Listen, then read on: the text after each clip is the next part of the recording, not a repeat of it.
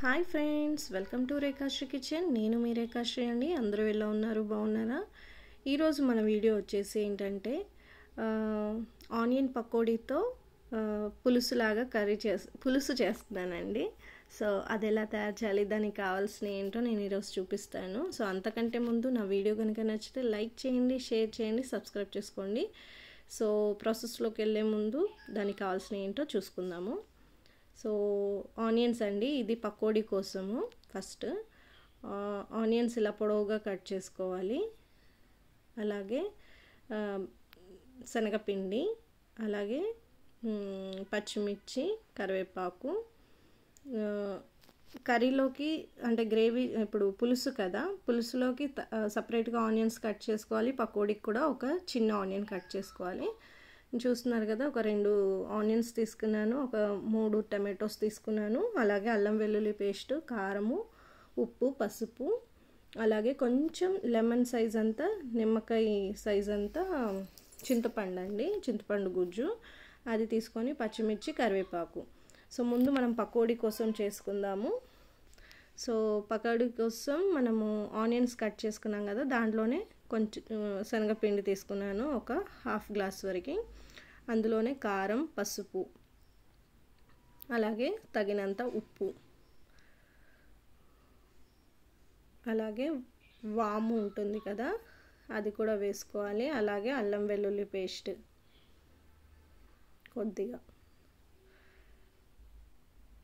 ఇప్పుడు ఈ వాము కూడా వేసేసుకొని కలిపేసుకోవాలి. సో కొద్దిగా వాటర్ వేసుకొని మనం సేమ్ పకోడీ ఎలా చేసుకుంటామో అలాగే చేసుకోవాలండి. Same process. అలాగే కలుపుకోవాలి ఆ విధంగానే. సో చూసారు కదా నేను ఇక్కడ కలిపేసుకున్నాను. ఈ విధంగా కలుపుకుంటే సరిపోతుంది. సో ఇప్పుడు మనం కడాయి పెట్టేసుకొని కడాయిలో ఆయిల్ వేసేసుకొని డీప్ ఫ్రై చేసుకుందాం ఇది. చూస్తున్నారు కదా కడాయి పెట్టేసి ఆయిల్ వేసేసుకున్నాను. ఇప్పుడు దీంట్లోనే పకోడీస్ వేసేస్తున్నాను. చాలా బాగుంటుందండి ఈ రెసిపీ. కంపల్సరీ మీరు ట్రై చేయండి. కొంచెం పుల్ల పుల్లగా కారంగా అలా పులుసు కదా ఆ టైప్లో ఉంటుంది. చాలా బాగుంటుంది. ఇది రైస్లోకి చపాతీలోకి కూడా బాగుంటుంది. పిల్లలు కూడా చాలా ఇష్టంగా తింటారండి. సో ఇలా అన్నీ పకోడీస్ లాగా వేసేసుకోవాలి. చూస్తున్నారు కదా నేను ఎలా చేస్తున్నానో ఇదే విధంగా ట్రై చేయండి. మీకు చాలా అంటే చాలా బాగుంటుంది. కొంచెం కొత్త టేస్టీగా ఉంటుంది. కొత్త స్టైల్లో అదే కొత్త రకంగా ఉంటుంది కొంచెం. టేస్ట్ అయితే చాలా బాగుంటుంది. సో మొత్తం పిండి అంతా ఇలా వేసేసుకోవాలి. సో ఇలా వేయించుకోవాలన్నమాట. కొంచెం కలర్ వచ్చేంత వరకు. సో ఇవి వేగిపోయినాయి కదా ఇప్పుడు ఇవి ఒక ప్లేట్లోకి తీసేసుకుందాము. ఈ మాత్రం వేగితే సరిపోతుంది.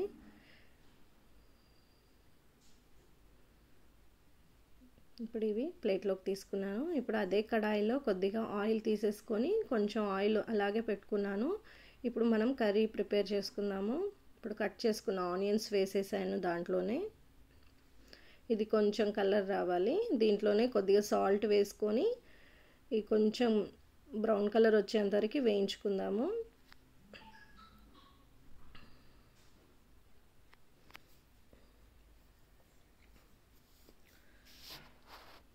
మొత్తం చూసారు కదా? మొత్తం కలర్ చేంజ్ అయిపోయింది కొద్దిగా. సో ఇప్పుడు దీంట్లోనే కట్ చేసుకున్న పచ్చిమిర్చి కరివేపాకు అది కూడా వేసి వేయించుకోవాలి. ఇప్పుడు తగినంత కొద్దిగా పసుపు తగినంత కారం కారం ఉప్పు కారం అవన్నీ చూసి వేసుకోండి. ముఖ్యంగా సాల్ట్ ఎందుకంటే మనం పకోడీలో కూడా వేసాం కదా అది చూసుకొని వేసుకోండి. సో కారం వేసుకున్నాం కదా దీంట్లో మళ్ళీ అల్లం వెల్లుల్లి పేస్ట్ కూడా వేసుకోవాలండి. ఇది గ్రేవీ కోసం కదా. సో వేసుకొని కలిపేసుకోవాలి. ఇలా కలిపి వేగిన తర్వాత ఇప్పుడు కట్ చేసుకున్న టమాటోసు. ఇవి కూడా మగ్గేంతవరకు ఫ్రై చేసుకోవాలి ఉడికించుకోవాలి మూత పెట్టి. సో ఒక టూ మినిట్స్ తర్వాత తీసి చూస్తే చూసారు కదా టమాటో చక్కగా ఉడికిపోయింది. ఇలా ఉడికిపోయింది కదా ఇప్పుడు దీంట్లోనే మనం అదేంటి చింతపండు రసం అది కూడా వేసేసుకోవాలి. కొద్దిగా వేసుకోండి బాగుంటుంది. పులుసు కదా పులుసు అంటే మనం జనరల్గా చింతపండు రసం వేస్తాము. సో అలా కొంచెం లిక్విడ్ టైపే ఉంటుందండి ఇది.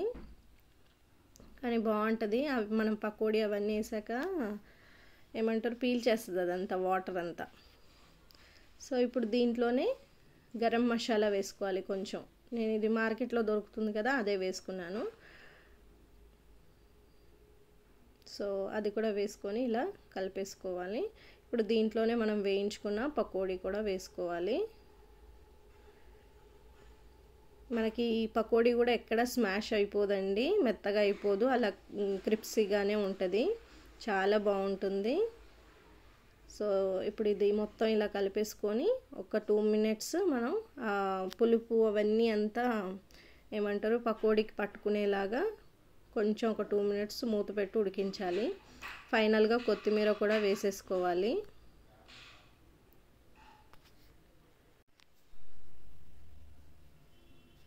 ఇలా దగ్గరికి వచ్చేసింది కదా. ఇప్పుడు మూత పెట్టి ఒక టూ మినిట్స్ ఇలాగే ఉడికించుకోవాలి. సో తీసి చూసాం కదా. చూడండి ఇప్పుడు ఆయిల్ కూడా కొంచెం పైకి తేలుకుంటూ వచ్చేసింది కదా. ఈ మాత్రం సరిపోతుంది. ఇంకా కొంచెం వాటర్ వేసుకోవాలంటే వేసుకోండి. ఎందుకంటే ఇది పీల్ చేస్తుంది అనమాట సో నేనైతే ఇప్పటికిప్పుడు తినేస్తాం కాబట్టి ఆ మాత్రం చేసి తీసేసాను.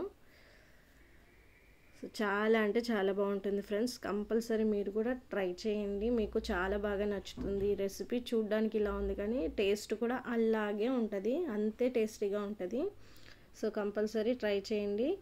సో ఇది ఫ్రెండ్స్ మన వీడియో వచ్చేసి ఈరోజు. నా వీడియో కనుక నచ్చితే లైక్ చేయండి షేర్ చేయండి సబ్స్క్రైబ్ చేసుకోండి. పక్కనే ఉన్న బెల్ ఐకాన్ బటన్ని ప్రెస్ చేయండి. మీ ఫ్రెండ్స్కి మీ ఫ్యామిలీ మెంబర్స్కి కూడా నా ఈ వీడియో నచ్చితే షేర్ చేయండి. ఇలాంటి మంచి మంచి వీడియోస్ మీరు చూడాలంటే కంపల్సరీ తప్పకుండా సబ్స్క్రైబ్ చేసుకోండి. సో మరో కొత్త రెసిపీతో మళ్ళీ మీ ముందుకు వస్తాను. వీడియో చూసిన తర్వాత లైక్ కొట్టడం మాత్రం మర్చిపోకండి. Please support me. ఓకేనా ఫ్రెండ్స్? చూస్తున్నారు కదా ఎంత కలర్ఫుల్గా ఎంత బాగుందో. చూస్తుంటే నాన్ వెజ్ లాగా ఉంది.